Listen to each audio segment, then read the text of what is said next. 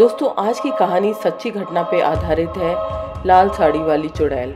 पिछले महीने हिमाचल में मुझे स्थानीय देवता की ये झांकी निकलती हुई दिखी। वहीं से शुरू हुआ हमारा डिस्कशन हिमालय के भूत प्रेत और चुड़ैलों के बारे में। और तभी ड्राइवर भैया ने हमें आँखों देखी सच्ची चुड़ैलों की घटनाएँ सुनाई। हमारे गाँव में उधर। कौन सा गाँव पिपलू बोलते हैं उसको। पीपलू पिपलू ये शिमला के पास है क्या? मैंने हमीरपुर में। अच्छा मीरपुर तो स्वर्गीय लेके जा रहा था वो घर ना। हाँ। तो वो भी बैठ गई लाल साड़ी वाले जो दे देते तो बैठा लेते क्योंकि गाँव में इतनी बस सर्विस नहीं होती है। और उन्होंने बताया कि एक बार उनका भाई सवारी लेके जा रहा था गाँव की तरफ़ और कई औरतें आके उसमें बैठी पैसेंजर्स बैठे और एक एक करके उतरते रहे चढ़ते रहे और तभी वो लाल साड़ी वाली एक औरत भी उनकी गाड़ी में आके बैठी।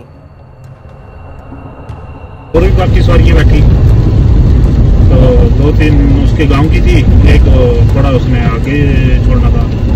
लेडीज़ थी सारी जेंट्स थी और एक लेडीज़ की नज़र पड़ गई उसमें शीशे में। शीशे में दिखती तो है नहीं। तो पीछे ऐसे देखे तो बैठी हुई शीशे में उसकी नज़र पड़ी है ड्राइवर की तो पड़ी नहीं। और जब उसको ड्रॉप किया लेडीज़ को उसने बोला कि हमारे घर आओ चाय पी के जाओ। तो उसको लग गया पता और ड्राइवर को ऐसे सरेआम तो बोल नहीं सकती थी कि ऐसा ऐसा है। और तो तभी वहाँ पे जो साथ में एक दूसरी महिला बैठी थी उनकी नज़र ड्राइवर की जो रिव्यू मिरर होता है शीशे में पड़ी। और उसने देखा कि उसके पास में जो लाल साड़ी में महिला बैठी है वो शीशे में दिख ही नहीं रही है। अब वो समझ गई कि ये मामला गड़बड़ है और उसका स्टॉप आ गया।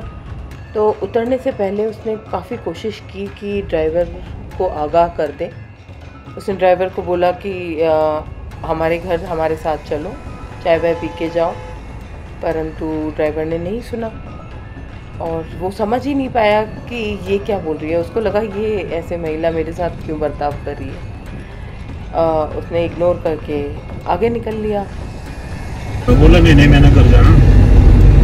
घर बहुत ज़ोर लगाया उसने पर वो बैठा नहीं। चला गया। और जैसे उसका स्टॉप आया और वो नीचे उतर के आई और अपने असली रूप को दिखाया।